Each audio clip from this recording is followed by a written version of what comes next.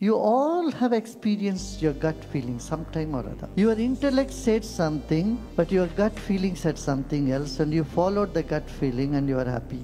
But we don't know how to tap into this gut feeling at our will. So, what you need to do? Become aware of the three levels of the body the physical body, which has prana, which has energy. We have to enhance the energy in this body. How do you do that? Healthy food, proper exercise, a little bit of exercise, not too much, yoga and breathing. This will keep our body fit. Second is to keep our mind in the present moment, free from distress. Meditation is absolutely essential. When you wake up from meditation, you feel so relaxed, recharged, energized.